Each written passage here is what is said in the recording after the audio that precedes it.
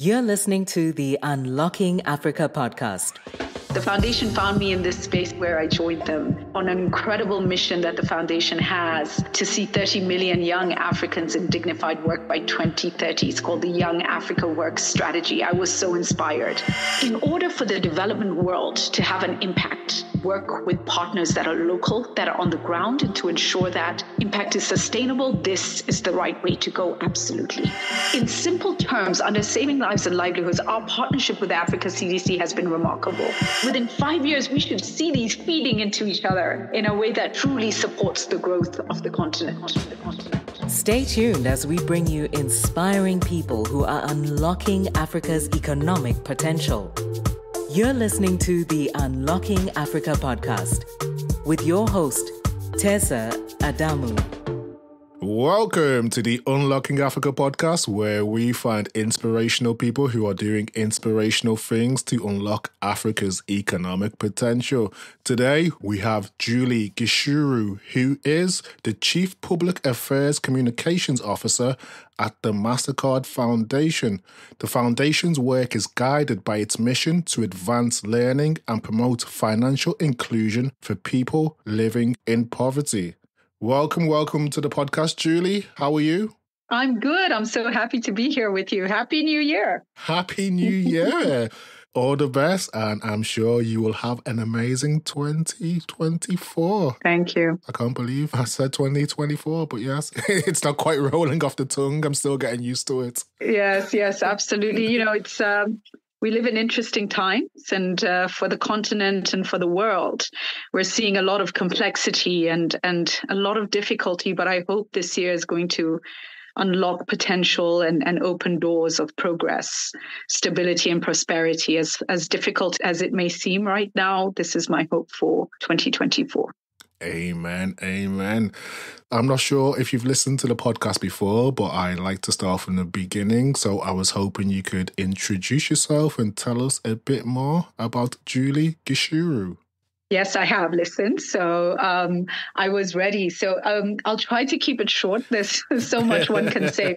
Um, but let me focus on the things that I think define who I am today. You know, I was born in Nairobi, Kenya, brought up there. I'm the child of a Muslim father whose family came from Kashmir, came to Kenya, you know, after the split between India and Kashmir, and things were very difficult there. And my grandfather brought his family over. My father was one year old. My mother is a Kenyan uh, from the Kikuyu tribe. And um, oh, wow. at a time when this mix never happened, it yes. was rarely seen um, this young man fell in love with this woman and, and they got married. So I, I grew up in a, you know, Muslim and Catholic household. My mom was from a Catholic family.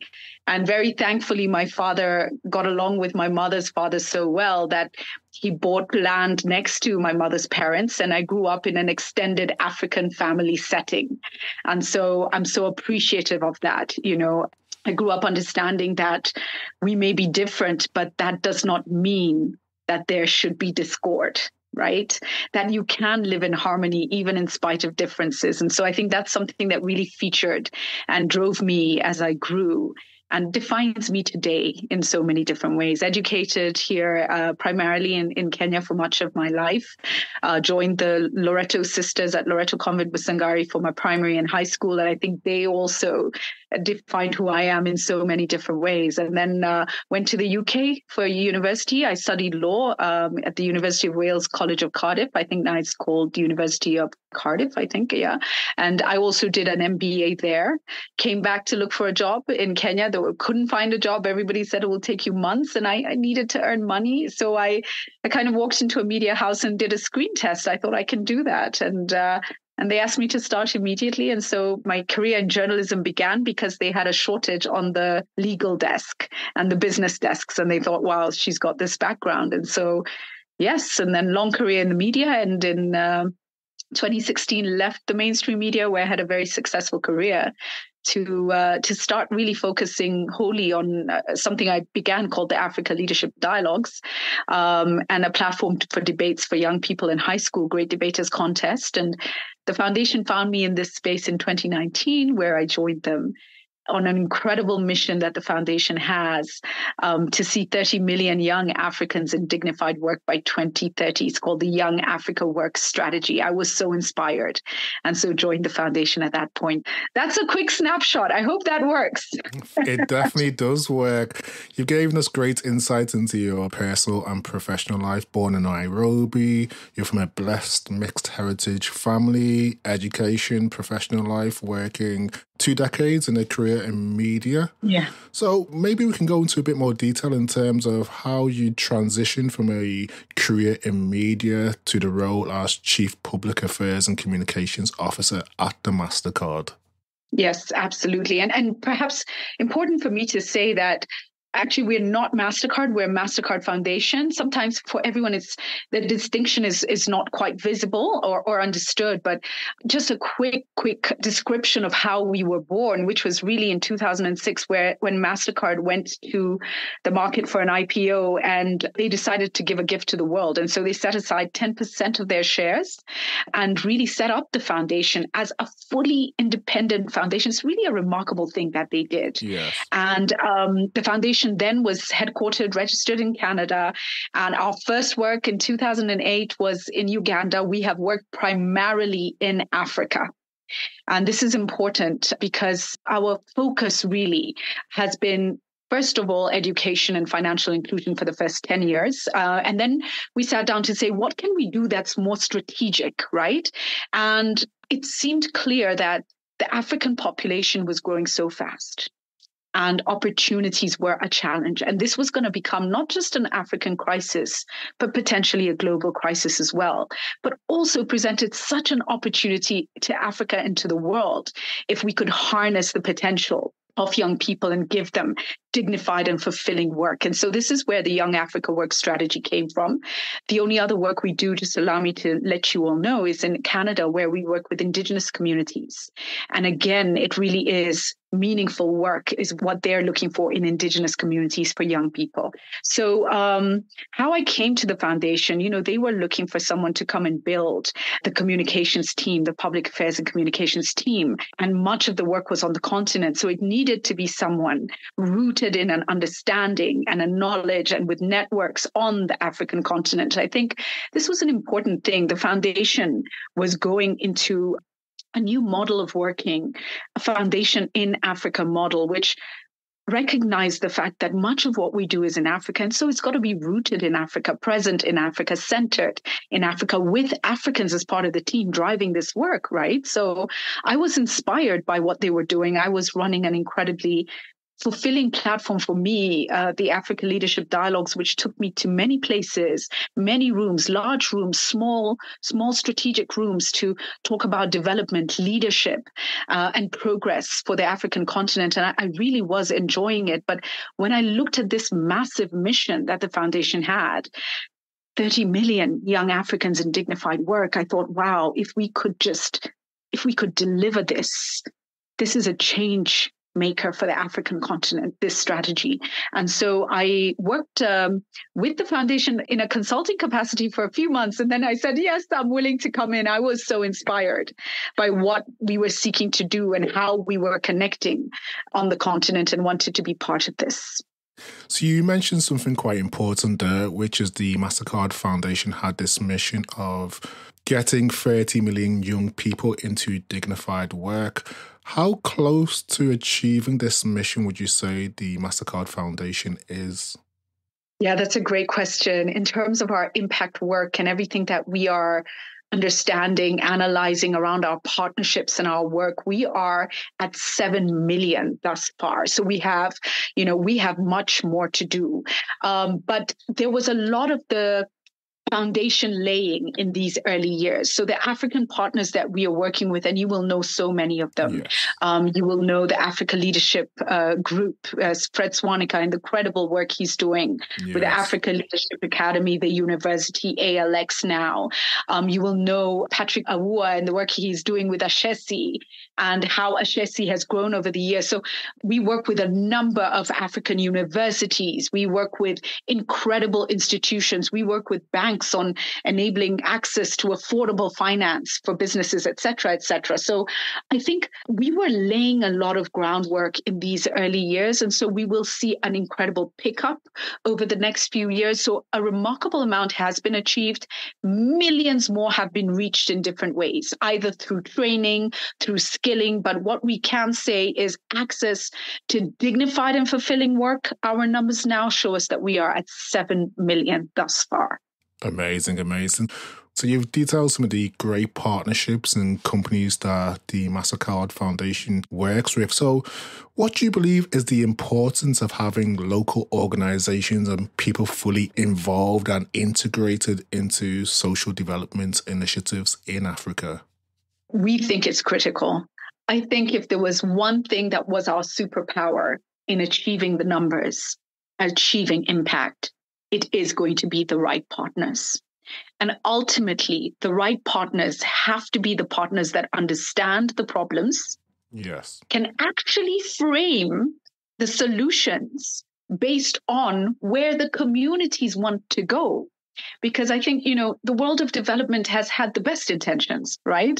But very often may come in with thoughts of where people need to be and maybe those communities don't want to be there right? Maybe they have a different vision. Um, and you know these things may be quite nuanced but they're important right? So where are the organizations that understand these things that understand the cultural implications of the things that we do um, that understand how to build scale and are positioned to scale the work right? So um, that is the most critical thing to achieving success when you are not working with the right partners, you are going to struggle every step of the way.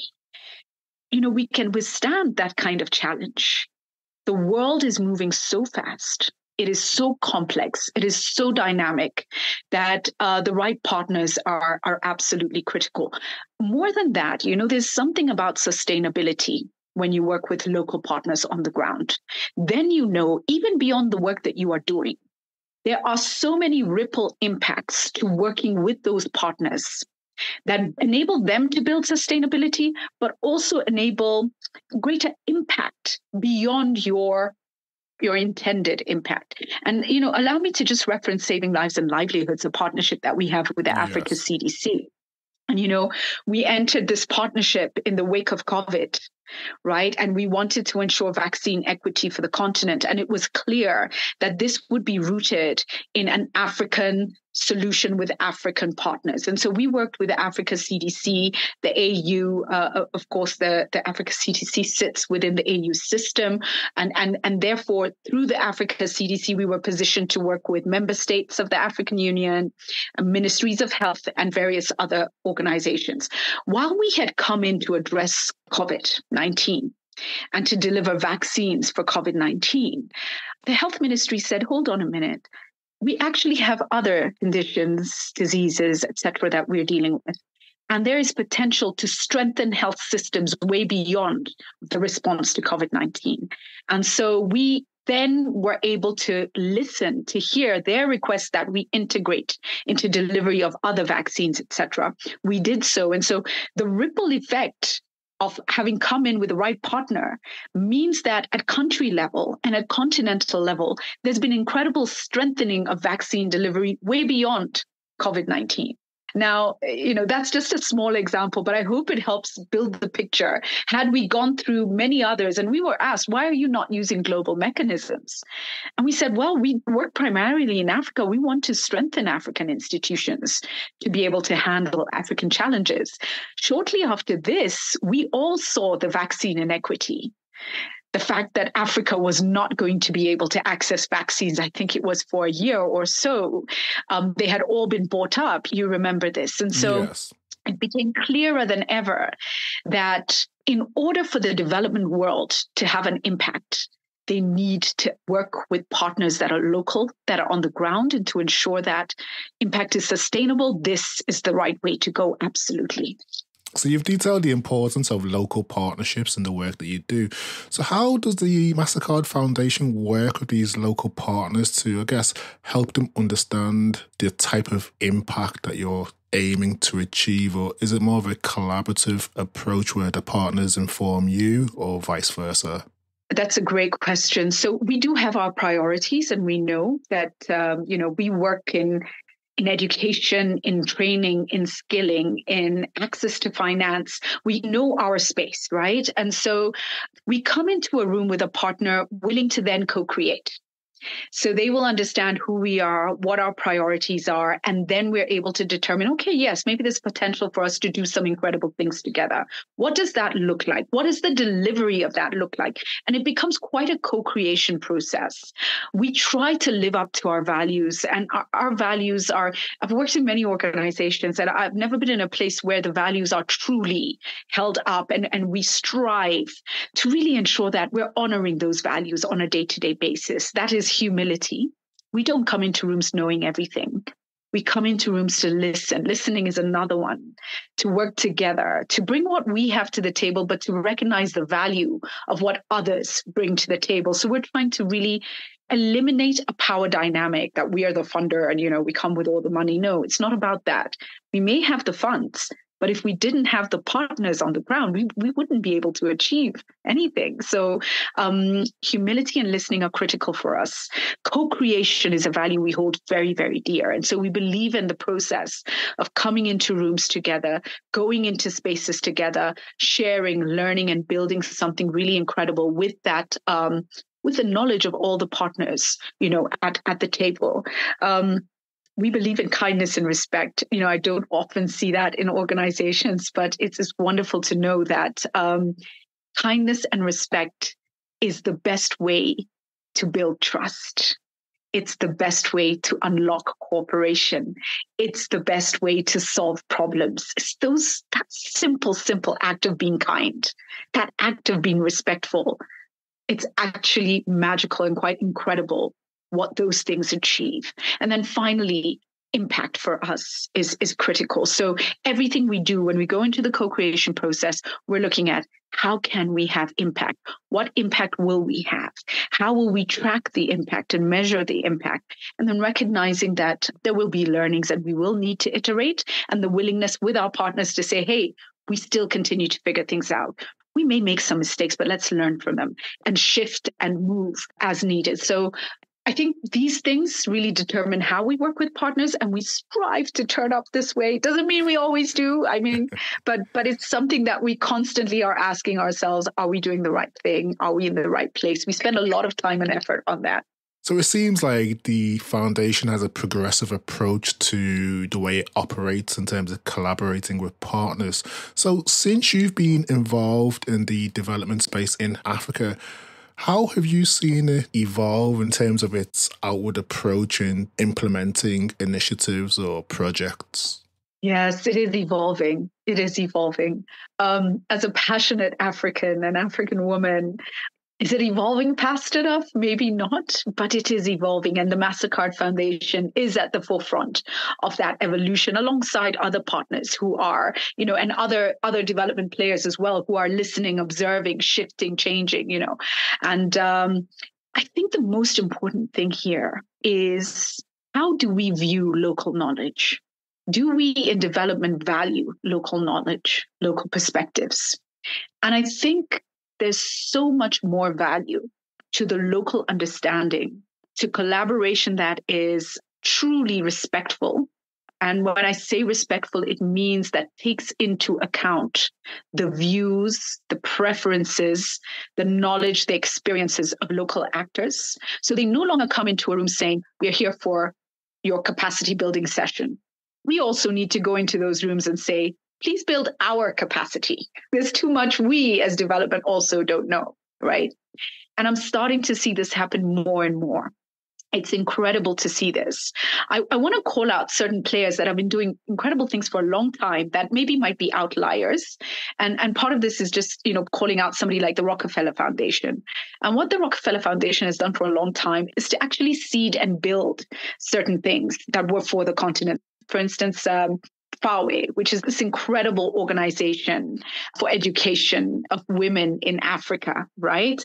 And this was set up and seeded really by um, the Rockefeller Foundation. Now, FAWE is an incredible partner of ours, the Forum for African Women Educationalists. We do incredible work with them, reaching girls and young women, uh, taking them to school, training them, skilling them.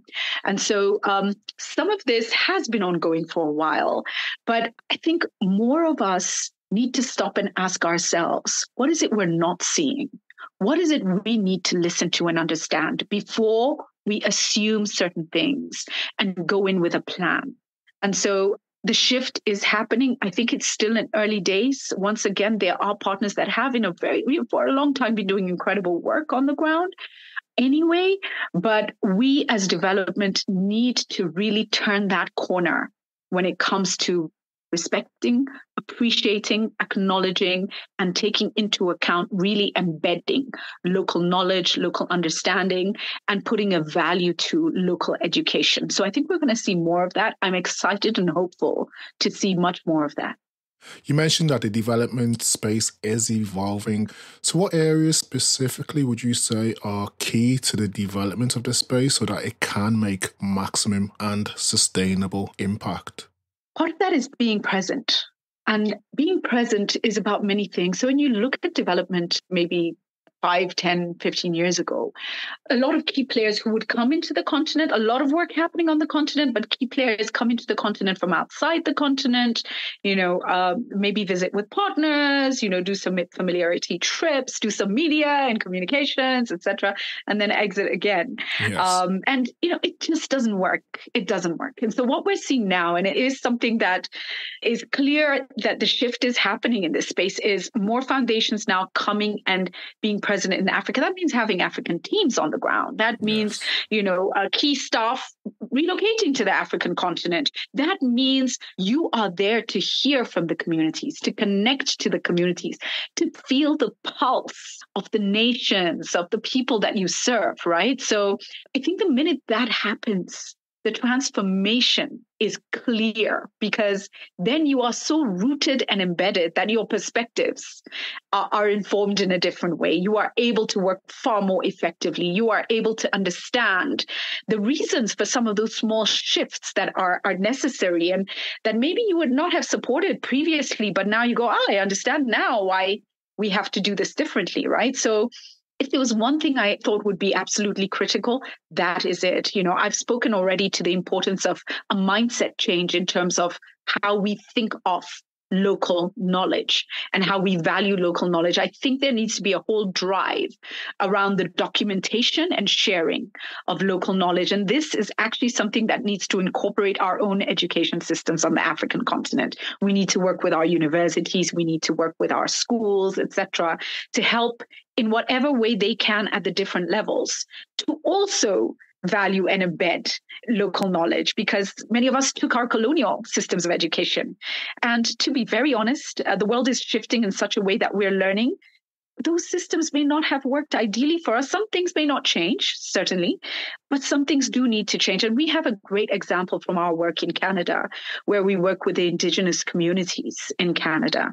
And you may know the story of how many of their children decades ago were forced into schools and into the education system of Canada. And uh, a lot is being unpacked and uncovered about that now, including the history and the legacy of the residential schools where mass graves of young indigenous children who passed away there are being uncovered. It's a it's a very heavy history. Yes. And so when we went to indigenous communities and we said, hey, we have scholarships for you at university, they said we don't want them. You know, the young people said we're not leaving our communities. They believe very much in their land. They believe in, in the conservation. They believe in the principles of respect for land, and they didn't want to leave their land. So what we then did was we said, okay, how do we understand better how we can serve you? And that was through understanding their perspectives, then rooting our own work in education around their perspectives and their knowledge. So we're doing an incredible amount now at ensuring we're building indigenous knowledge into the education systems, right? For their own communities.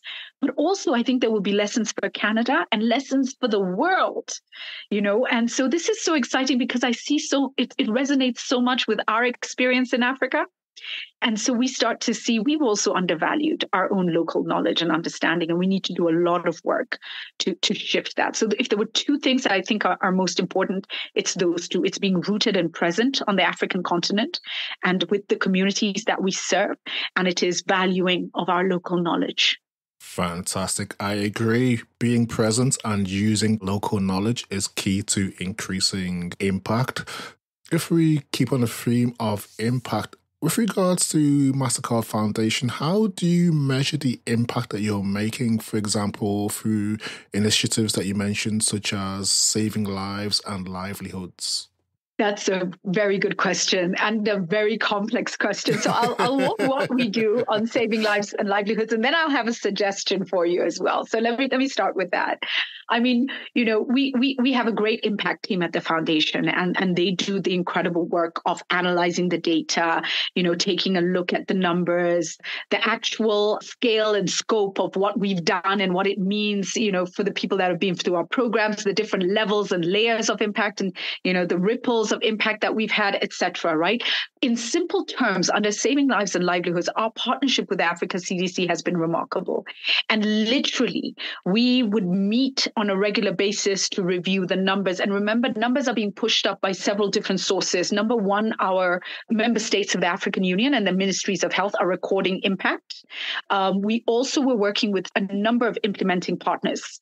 Um, some of them are African institutions based on the continent doing incredible work in health. Some of them are public health institutions. UNICEF is one of them, et cetera, et cetera. And so we're getting numbers from them as well in terms of what they're doing on the ground. All these are being collected, collated, put together, and then we're constantly tracking through our dashboards, pushing questions back, checking, etc. And we have incredible teams doing all of this. And literally over the past two, three years, we've been working with the African CDC on regular, you know, meetings twice a month to go through what's happened so far, what are the numbers, where are the issues, what might we need to address, you know, etc. It's been an incredible process of working together. And we're going to document this for others to learn more from this. But in terms of the detail of tracking impact, you know, I would like you to welcome to your show an incredible, incredible man.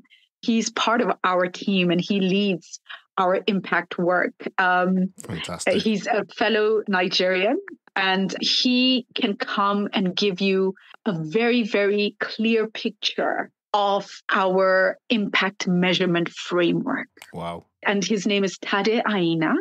And so I'm running away from answering the detail of this question by, by referring you to him. But um, in, in, in all honesty, it is remarkable to see the amount of work that goes to tracking impact. And i think it's well worth understanding that and maybe even you know getting feedback back from people on oh well that sounds interesting. Well have you thought of this? Because i think part of tracking again it's a continuous learning process. Yes and even as we go to ground now, there's so many things we're learning about what communities see as impact and things that we may perceive as positive impact, but maybe others don't, you know, and etc. etc. etc. As you say, there's no one size fits all. It's kind of a moving target. Impact yeah. in one area might not be considered impact in a different geographic locality. So yes, I totally understand. But really, um, I think again, and we're learning this as we go along as well, is with our partners being able to understand you know what is it we are collectively seeking to achieve what is it we are learning along the way? As we track that impact, being able to also be willing to adapt and shift yes. based on what we are hearing from communities, what partners are telling us. And so we are on a journey of really building understanding and the ability to be agile to ensure that we truly are doing things that transform communities, countries, and this continent for the better. Brilliant, brilliant. So if we home in on your, you mentioned the partnership with CDC has been instrumental. Maybe you could take us through that partnership in terms of how the partnership with Africa CDC has helped address, as you mentioned earlier, the impact of COVID 19 on the continent. Thank you. Um, You know, as an African, it's been remarkable to watch. And as someone in the foundation, it's just been an honor to be part of this. So, we first started our partnership with the Africa CDC when COVID hit. And if you recall, the first thing that started was testing and tracing. Yes. You remember that? Everyone yes. like, you know, let's try to figure out, you know, who's where, who's been, you know, etc. And and how do we protect communities by testing and tracing? And so we came in in a partnership for testing and tracing with the Africa CDC, and, and they did an incredible job. And at that point, what we were doing as well was equipping, training, equipping, and deploying over 12,000 workers, uh, community health workers, to be able to do this work. Um, and, and they did an incredible job. But we then realized, I mean, you know, COVID got ahead of this. It didn't matter how much testing and tracing you were doing at a certain point. It was now, you know, COVID was everywhere. And the search was for a vaccine. And so when we started to understand that, you know, a vaccine was coming, we had already started conversations with Africa CDC as to to better understand what the continent would need. Now, what we had seen as a foundation that is focusing on work for young people. And with that target of 30 million young people in dignified and fulfilling work by 2030, we saw economies shutting down. We saw businesses closing. We saw and understood families were not able to feed their loved ones at the end of the day. This is just how serious it was. So economies were shutting down and and and lives and livelihoods were affected by this by COVID-19 and we wanted to contribute to building resilience for the continent and helping in some ways to, to, to stabilize right the continent and so we started conversations with the africa cdc and asked what does africa cdc need to truly be able to have an impact on stabilizing the continent in this difficult time and um, at that time, Dr. John Nkengasong was at the helm of the Africa CDC and he and our president and CEO Reeta Roy uh, and and our our teams had several discussions and we came up with saving lives and livelihoods. And initially, we saw this as a $1.3 billion partnership to number one, buy vaccines for the continent because we did understand that the continent was going to be left behind. There are so many different priorities that member states have that they need the continent needed support to buy vaccines. Number two was moving moving those vaccinations to get them into arms. And there's a whole chain of events, as you can well imagine, that must be enabled for that to happen. So we wanted to support that as well. So the third thing we were clear that we needed to do is to enable vaccine manufacturing for the African continent. Now, Africa needs to manufacture her own vaccines. This is critical. It's a lesson we've learned from COVID 19, but it was something that was important for us to do anyway. And so we wanted to leave that strength for the continent behind through enabling workforce development, the training, the skilling, the education that will be required for an African workforce for vaccine development. And then finally, we wanted to strengthen the Africa CDC. And so we looked at this incredible organization and we said, look, it was fairly young and uh, had had to support Africa in withstanding the Ebola crisis. And it did a really, really good job in the wake of Ebola 2014 to 2016, you know, and the threat that Ebola faced for the world. We have to recognize that there are players that stepped up and protected the, the, the countries affected, the continent, and the world. Ebola could have had such an impact. And so this small organization called the Africa CDC had already done so much. And so we wanted to come in and say, how do we build you to truly strengthen public health um, on the continent for, for the longer term? And so um, this is what we came in to do. Um, the partnership grew a little bit more to a $1.5 uh, billion dollar partnership. Um, there's been incredible impact thus far. And as we move forward, what we're looking at doing is to continue to ensure the most vulnerable people get vaccinated in phase two, and that's your health workers, your elderly, people living with comorbidities.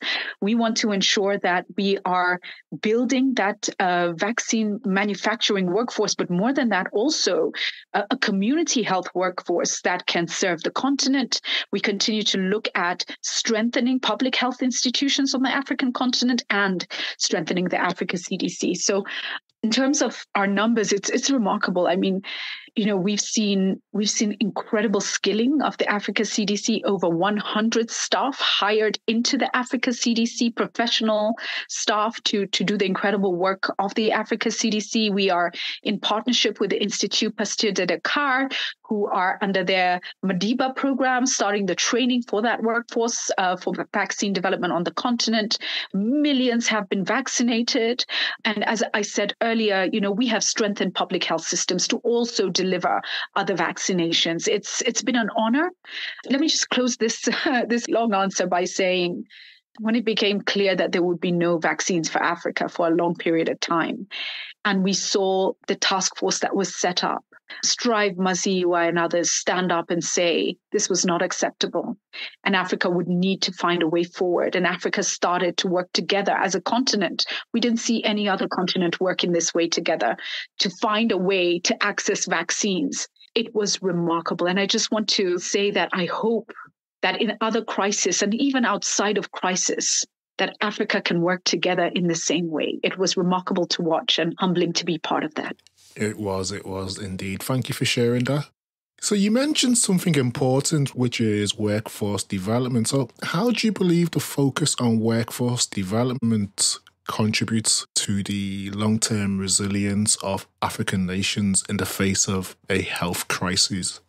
Oh, I mean, um, it's so critical. I, I, and and it's more critical at a time when the whole world is looking for health workers, and so we're going to yes. see a continued movement of our trained health workers Very outside true. of the continent, and and so you know this is this is definitely a space where we need to continue to stay focused. And we know the first point of call for most people on the African continent will be a community health worker. It won't even be a clinic or a hospital, you know. And so the ability to train and strengthen and, and, and the training we did in, in the packed phase with 12,000, I believe in the under saving lives and livelihoods, we hit over 30,000 health workers trained and deployed. And that number continues to grow. And as I said in phase two, we are planning to scale that right up. It is critical to have young people who are skilled and able to meet health needs at community level. However, the way we see the health workers is slightly different, the community health workers. We're starting to see community health workers as a doorway into careers in health. So, whereas some community health workers have been community health workers for years and years, right? And we know how difficult it is for them because pay is often it's intermittent and you may be focusing on different things at different times depending on who's come in, you know, if a development player has come in and is focusing on HIV AIDS, then maybe that will be your focus for a period of time, right? And yet how do we skill them to serve the needs at community level and escalate any issues that need further treatment, further consultation, etc. Right? But also help them understand that this for them could be a doorway into a career in health. So, do you want to become a nurse, go into midwifery, etc.? Do you want to become a surgeon, a doctor? Do you want to go into wellness? How do we create these pathways for them to go into the next step? Right. And this way, build strength across various different steps and levels of the health system for our continent. You and I know it's an issue across the continent. We don't have enough doctors. No. We don't have enough nurses. We don't have. So, for us as a foundation, we recognize this as important, not just to deliver on our Young Africa Work strategy and put young people in dignified and fulfilling work, it's also important to safeguard our communities on the continent, their health and their well being. And in safeguarding the health and the well being of communities on the continent, you unlock the potential of our economies. Less money goes into having to manage health issues, but also we have a well population that are able to thrive in the things that they do. and are able to deliver for their families and for the communities, etc. So you, you can just see that effect of having more health workers on the ground and, and what it could do for our communities. And so, you know, we definitely recognize this. It's important to us. For me, as an African woman, knowing how many African women do not get access to decent healthcare during pregnancy, you know? True. Very true. You know, right at my core, my feeling is how do we make sure that they do have people around them? So, midwives are enough in number, clinics and people in those clinics, community health workers, you know, even when it comes to nutrition advice, wellness advice, and able to escalate where needed. So, this is something that's important for us as the foundation, but more importantly, it's important for Africa it's important for our communities and it is important for our families. Amen. I agree. so, from our conversation, it's clear that you are very pragmatic but extremely optimistic about Africa's future. yes. And you do describe yourself as a Afro optimist. So, yes. what specific aspects would you say of Africa's future make you the most optimistic? Oh, it's our young people. I love our young people. The energy, the drive, the idealism, the passion, the commitment, the love for Africa. And you see it and feel it. And, you know, I dare say, I don't know how old you are, but for some of us who are a bit older now, and those who are educated under the colonial system, our grandparents and, and our parents, you know, we were taught to respect the colonial system. Yes. You know, and, and even though we tried to push against it, the colonial education was the better education, you know, all these things. But we have a generation of young Africans who there's something about their DNA that's rooted in our soil in a way that we were removed from our soil and we had to reroot ourselves. So some of us actually had to go back and say, I'm rooting back in. I want to root back in, right? Um, they are there. And that energy, that passion for Africa and for other Africans, that love for this concept of the continent, not just our countries or our communities, but the continent is something that I think is so powerful.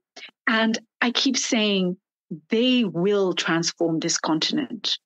And what we need to do where we are sitting now is create the policies enable their skilling and education, unlock the local knowledge so that we're not feeding them the same things that we were fed and we had to go back and try to unlearn certain things right? And so we have to be the ones that you know unlock the challenges and open up for them to transform this continent and they will. That's what really excites me. It's our children and the children they will have and the potential they have for the continent. What scares me do you want me to answer that? yes, yes. What scares me is um, is the knowledge that Africa is so enriched, enriched in resources. We are enriched in human capital. We are enriched in culture. And there's something about how we as a continent have to safeguard ourselves, stand together, trade together, enable each other, we can't keep fracturing as a continent. It's going to be imperative that we hold together because it is in our standing together that we will succeed. And if we don't stand together, we are bound to fail. And it does worry me in many, many ways. So, you know, the call really is for African leaders and all of us who have any influence to continue to call upon each other, to open each other's doors, and to hold each other up. It is imperative, it's critical. Brilliant, brilliant. So, you mentioned you're optimistic about young Africans who will surely shape the future and the current as well. So, are there any current trends or activities that you're seeing with regards to the work that you're doing in Africa that you're currently excited about? There's so many. I mean, even when we talk about local knowledge, local valuing that. And you, you, look at, I already mentioned Preswonica Patrick Awuah, you know, many of the universities we partner with across the continent, going back and saying, who are we? How do we strengthen our education systems? How do we work together as universities? As a foundation, we're building university collaboratives And so we are enabling African universities to come together we are also enabling you know a partnership or work with other universities such as oxford cambridge um, university of toronto etc and learning shared learning shared practices but on the basis that everyone comes to the table with value and there's no one more superior or more capable and able than any other. And when we create those spaces, those university collaboratives, we are unlocking so much knowledge generation and potential capacity. So that for me is really, really exciting. I think it's when you look at the young people, and we are as a foundation are trying to do more work at understanding how to partner directly with more young people. And so um, we're looking at working with youth led organizations and have started testing that. And you look at young people and the incredible innovations and it's everything from there in agriculture they're in it we're seeing them around climate action. So everything from you know recycling to mindset shifts to and, and we're working with these young people and i'm really encouraged by the fact that in spite of what young people have around them so it may not be access to huge funding, right? It may not be huge networks, but they're doing so much already. And then what we are able to do is introduce them into our networks. And then they can hopefully use that to scale even further. I think part of the work we're doing around training with teachers, so leaders in teaching, and work we're doing around education through the Center of Innovation in uh, Teaching and Learning, CITL, the MasterCard Foundation, CITL, is remarkable because I think that delivers quality education to so much more. Some of the things that we need to unlock are gadgets, access to gadgets, of course, access to data, etc. But this is all happening, and we are in the room with policymakers, asking governments if we are able to bring this quality of education to digital platforms how can you ensure that young people and others in your countries can access these platforms? You know so i think there's huge potential. There's so much we do that is incredibly exciting. And i think the biggest thing we need to unlock right now is just to ensure that policies are moving at the pace of some of this incredible work of our partners um, and other development players. Because if policies move at the same pace, then we see the scale and the impact at a completely different level.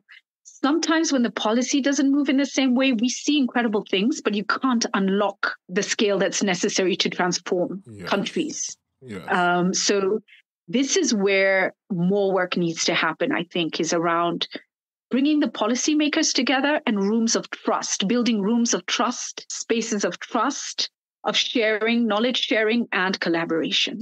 So I guess moving from, as you said before, current trends and looking into the future and the work that you're doing through saving lives and livelihoods.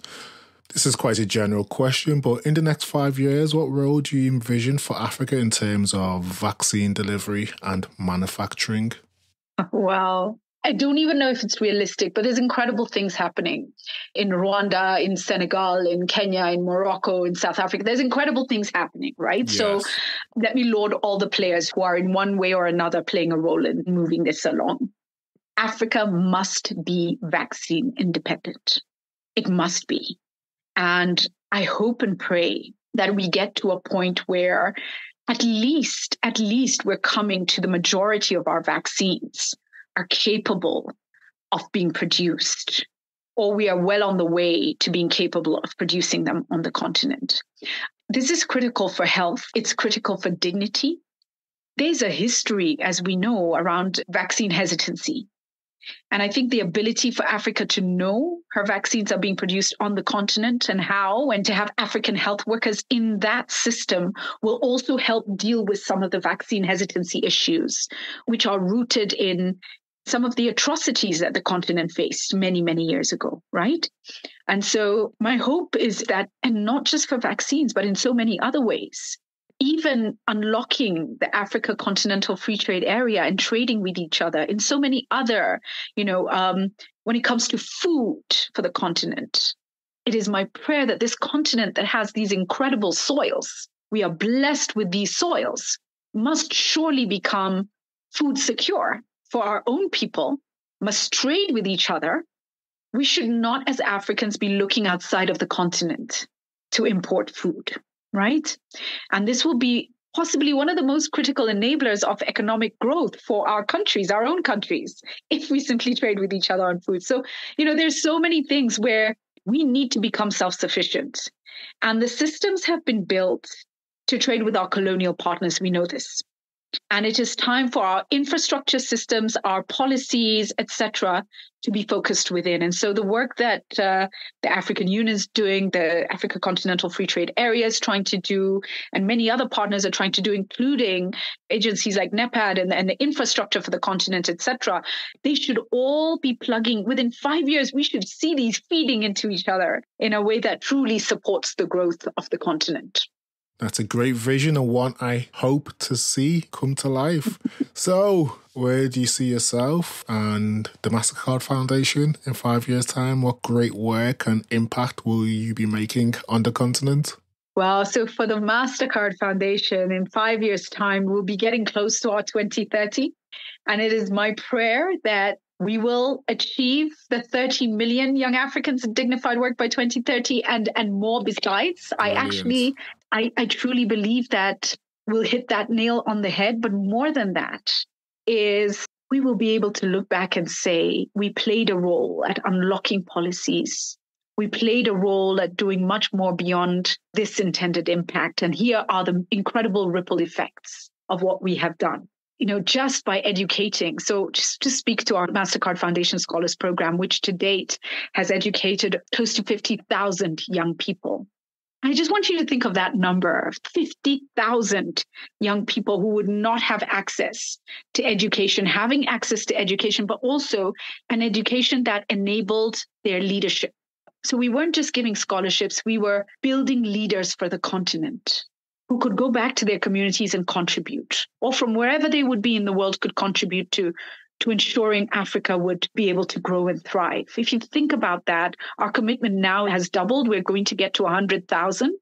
Just think of the ripple effect of those young people. So I believe the foundation will have achieved, will have, I believe the work of the foundation will transform the continent in incredible ways. Wow. And in 2030, they'll be looking at all the stories and and and so many more that we would never be able to tell but voices may be coming out to say i was part of that Brilliant. For me, if I'm alive in five years, you know, as an African, I just want to enable other Africans. I want to enable their confidence and belief in themselves. I want to enable their confidence and belief in Africa. And if we can do that, if I can do that, that's enough. That is enough because they will do the rest and their stories will do the rest and their voices will do the rest. So that's my mission. Extremely powerful words. Thank you for that, Julie. Quote of the week. As people, we often have quotes, mantras, African proverbs, or affirmations that keep us going when times are challenging or when times are good. Do you have one that you can share with us today? I do. You know, I'm a I'm a lover of African proverbs, and I, I you know, I I love to share so many, but allow me to share one proverb and my mantra, if that's okay. Yes. So, one proverb that I used most recently at uh, Youth Connect Summit, where all these young people met in Nairobi, was hands shake each other. Mm-hmm. Right. And I just said it and people clapped. I didn't even have to say more. They got right. Hands shake. We need each other. We have to hold together. Together we rise. And if we don't hold together, we are going to fall. So hands shake each other. Africans just hold on to that. Brilliant. And then my mantra is evolution is life. I'm a Capricorn. I just celebrated my 50th birthday. oh, congratulations. Happy birthday. Thank you. Just a few days ago. And, um, and I'm so thankful to be where I am. And I'm a person of habit. I don't necessarily like change, but I had to train myself to like change, to accept change, and to change when necessary, right? So when you hold on to that mantra, evolution is life, we need to keep learning. We need to keep growing. We need to keep shifting. The minute we atrophy, we die. And so keep learning, keep growing, keep shifting. Evolution is life. And what a fantastic way to end today's conversation.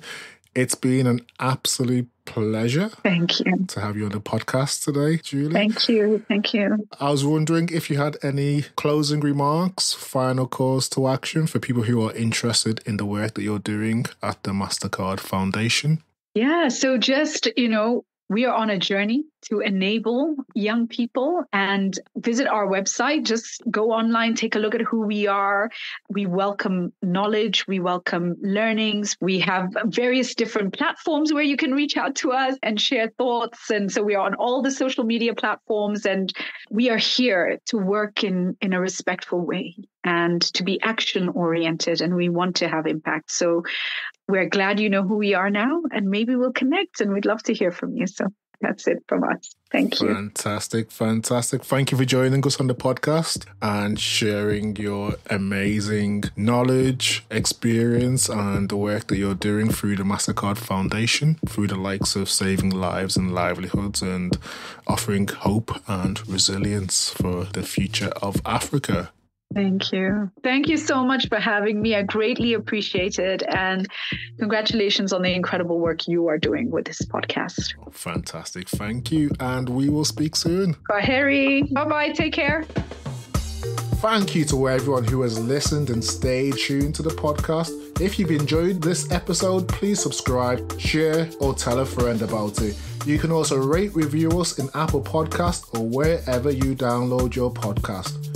Thank you and see you next week for the Unlocking Africa podcast.